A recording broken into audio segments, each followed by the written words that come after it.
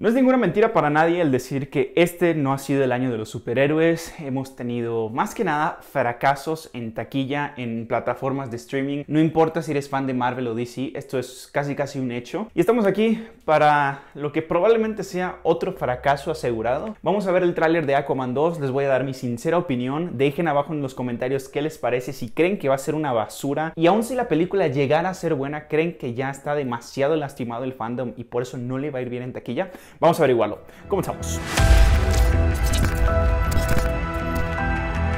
Ok gente, pues ya tengo listo el tráiler, vamos a revisarlo súper rápido, ustedes lo van a estar viendo por aquí, así que dentro de 3, 2, 1 y ahora.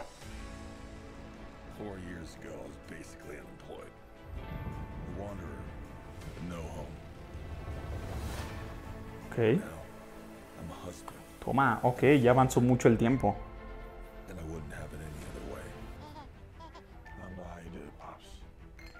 Te muera.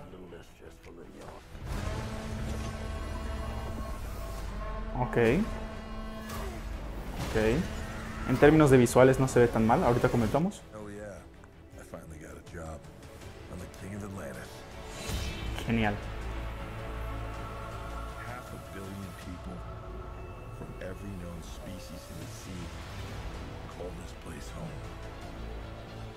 That doesn't mean they all like me.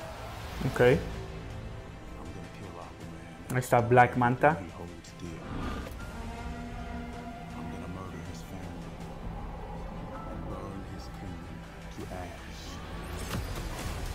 Ok. Un poco lo mismo de siempre. Ahorita vamos a platicar más.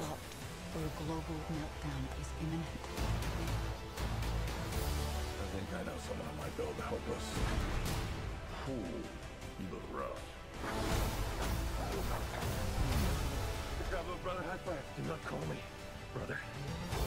Ah, mira. I cannot believe you let this happen. Yeah, well, I hate this job. True king builds bridges, right?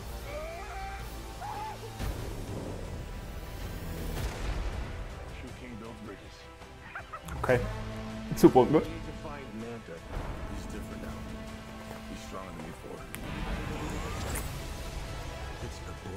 Black Trident. Toma. Ok. Ok. During King Atlan's time, there were seven kingdoms. And the trident was a curse upon them all. Ok. Trident Eso está chido. spreading. He means to end the bloodline. Ok. I don't know what lies ahead, but we can't leave our children a world without hope. You're not as bad at this as you think. If you lead, the seven kingdoms will follow. Ahí está. Ella.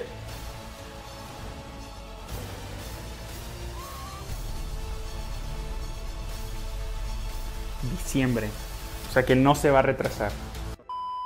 Ok amigos, pues ese fue el tráiler, es obvio que se va a estrenar en cines, está planeado para diciembre. Pues se ve genial, ok, tengo que admitirlo, los visuales de esta película, digo, después de ver The Flash todo se ve excelente, pero para ser del mismo estudio se ve muy bien eh, la forma en la que están presentando la historia de Aquaman, se ve muy bien lo de la parte visual, la parte de la épica se ve brutal también, la parte de las batallas, ¿no? Las coreografías con los tridentes a mí en lo personal me gustan muchísimo. Por ese lado se ve que vamos a estar cubiertos, mi único detalle, creo en lo personal que el género de superhéroes o el subgénero de superhéroes ya está llegando un poquito a lo mismo. Eh, creo que hemos visto muchas estructuras narrativas muy similares a lo que nos está presentando este tráiler.